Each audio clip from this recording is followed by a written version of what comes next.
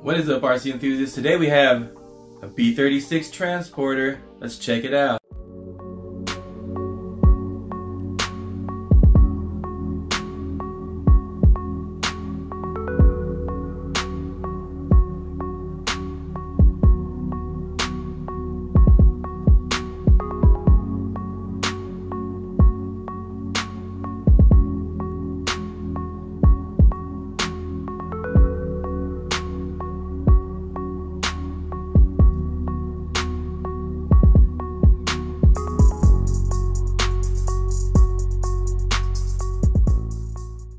This right here is a behemoth of a 16 scale rig right here.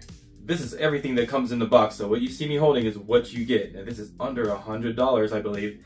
As you can see, it's pretty sweet. Now, the B36 front right here is, you know, nothing new. We've seen this before, but it is one of their cooler, more detailed RCs.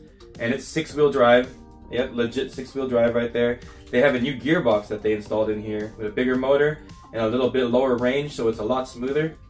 And I can tell you what, this one right here was built pretty smooth, and I've already test driven it. And the drivetrain and everything, you know, it still has plastic drive shafts. It has the metal ring and pinions in the axles. So it's, you know, a little bit more durable than their regular, you know, RTR back in the day, but the kits are pretty good and the KMs is what I'd recommend. So if you've ever want to upgrade these axles, I recommend that. But anyway, stock form is pretty good. And if you're just going to use it as a transporter with this right here, because it does come with this, then it's good enough the way it is, I believe. As you can tell right here, you have a quick disconnect to disconnect the rig right here from the rest of the transporter. Oh, I forgot to disconnect the wire, man. I almost ruined that. And the wire's got a quick disconnect too, just a servo style. And it's easily, you know, connectable. Just back up into it. And then boom, you're back, reconnected.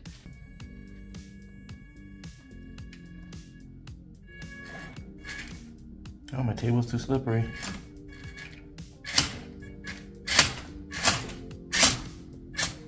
Yeah, I connected. Gotta connect trailer.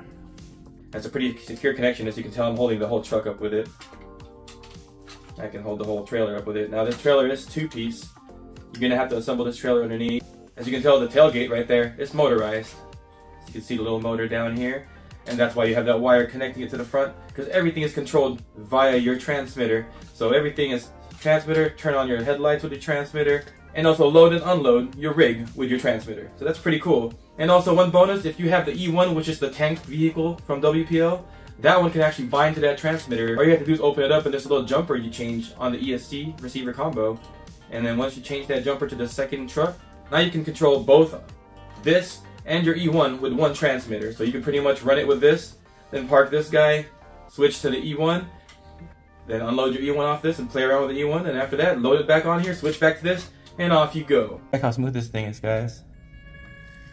Fully proportional. Throttle and steering. I can steer a little bit. Or a lot.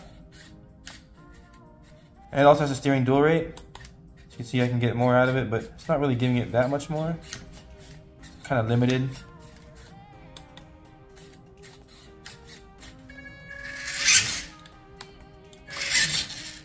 Okay, channel 3 is just for a drag brake or no drag brake.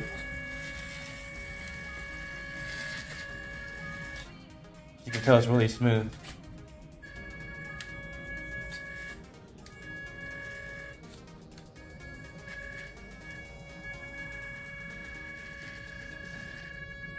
Probably the slowest you can go right there. And it's carrying the E1 right now, which is pretty heavy with the metal tracks.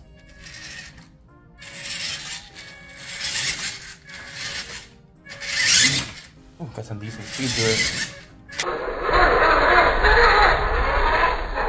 Ooh, I peeled out right there. Driving aspect fun of this guy, I guess it's just learning how to drive a trailer around, maneuvering a trailer.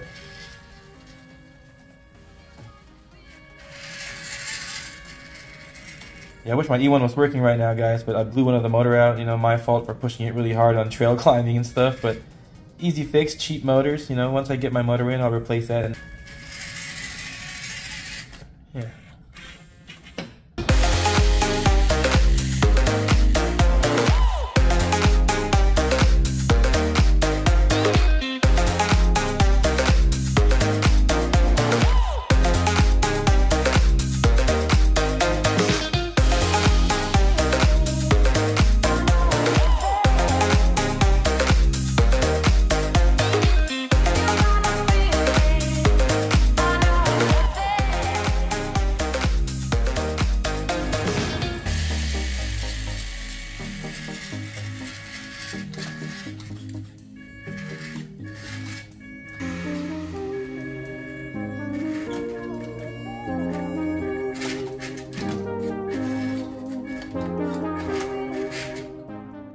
So this thing is pretty cool right here, you know, very detailed and trailer seems to be pretty well built. I wouldn't want to load it up with too much heavy stuff. Maybe, you know, two 18 scale trucks could probably fit in here nicely still.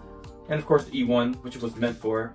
And I've seen some people actually putting the B24 on here, and that fits pretty well on here too.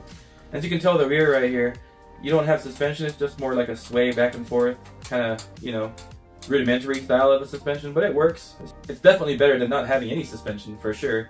And the tires itself are kind of like those toy style tires where it's plastic all the way through and they just wrap rubber around it so it's not pliable. As you can tell, it's just a solid rubber, but it's a soft enough rubber, but it's just a solid trailer rubber. Same with the spare you get back there, but this spare you get back here is actually the same spare for these right here. So it's a functional spare right here, and it's pretty good rubber. And it feels like they upgraded the rubber a little bit on this. I'm not sure. It's still not as soft as their kit rubber, but it's not as hard as their old RTR rubbers, I believe. That's just how I feel right now by just feeling them. So there might be an upgrade in the tire compound here. And one of the cool things, is the new back end to this guy, obviously you can attach this whole back end and everything to your old B36. Let's just say you have a KM B36 where it has all metal, everything underneath already. Well, take this back end and trailer, attach it to that. You have yourself a beefier rig right out the box. But anyways guys, this is what you get out the box right here. Straight ready to run with a battery, charger and everything. All you need are two AA's for the transmitter and you're ready to go. So pretty fun, pretty good price, and you get a very long RC for the price. Well alright guys, thanks for watching as usual, and as always, stay safe out there, have fun, and go run, which I'm going to do next in my next video with this guy. Run that RC.